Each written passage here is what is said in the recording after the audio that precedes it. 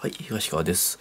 今日はですね、東京マラソンの方なんですけども、こちら出場する料金の方が返金されないということで、そのことについて問い合わせをしたいと思います。ということで、こちらですかね。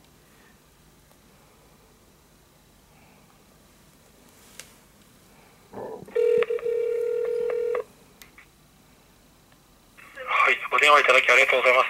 東京マラソン2020エントリーセンター江藤でございます。あ、もしもし、あの、東川と言いますけども、今日お尋ねしたいのは、えっと、ぼ僕自身は、これ、落選というか、と特にあのダメだったんですけども、これね、来年以降とかっていうところで、今回のちょっと事態ちょっと見ていて、返金されないっていうこと自体がね、これ、おちょっと規約見ても、どう考えてもおかしいっていうことで電話させてもらったんですけども、はい、僕自身は今回は参加できないということで電話させてもらったんですけども、ちょっとこれね、お金返すのが筋じゃないですかっていうことで、これ地震では返金するってことで、これ伝染病ですよね。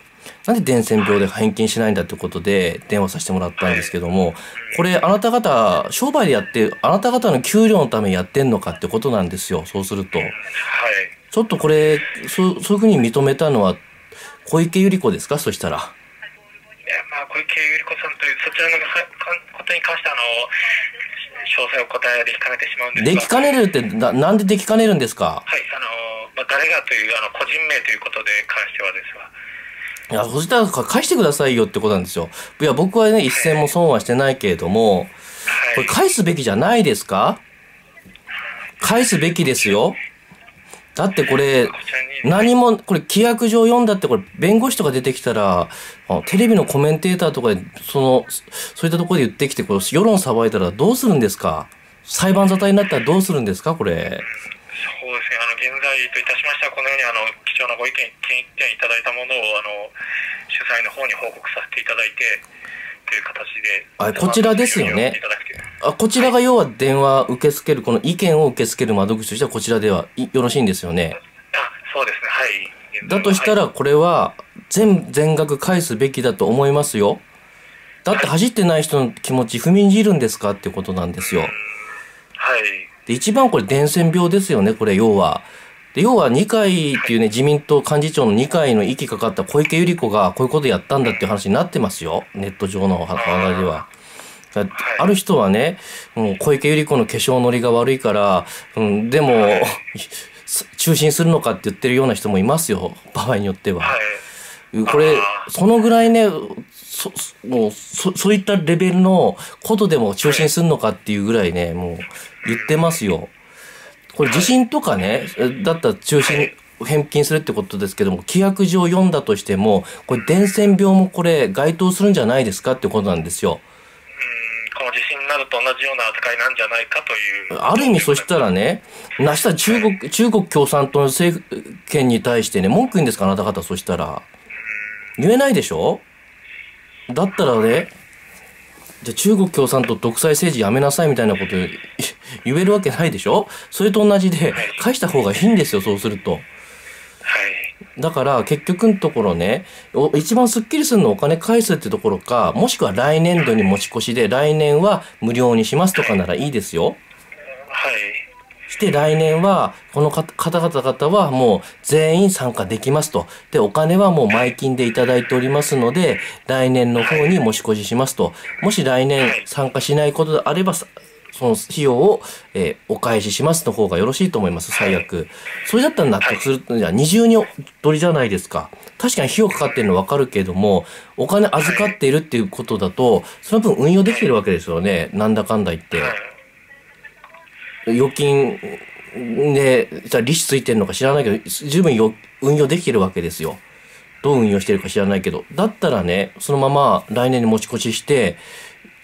無料、うん、まあ、すでに払っていただいてるってことで、うん追加料金なしでいいんじゃないですか？して、さらに倍で、はい。して僕みたく参加できないような人も含めて、倍の人数で参加できるようにしたらどうですか？そしたら。はあ、来年はということですね。だって参加でき、中止したっていうのは賢明な判断だと思いますよ。天皇陛下の、はいえー誕生日の一般参加でも中止してるわけですから、一定の合理性ありありますよ。だけど、これ来年に持ち越しするんだったら倍の人数で参加できるようにするっていうのが正当な方法だと思いますよ。多分そこまで頭働かせないんですかと。はい。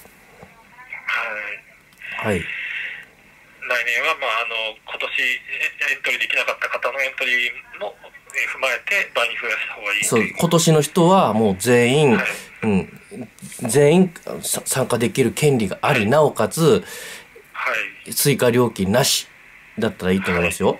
それか、それをやんないってリセ、もうリセットするってことであれば返金ですけれども、どちらかですよ。はい。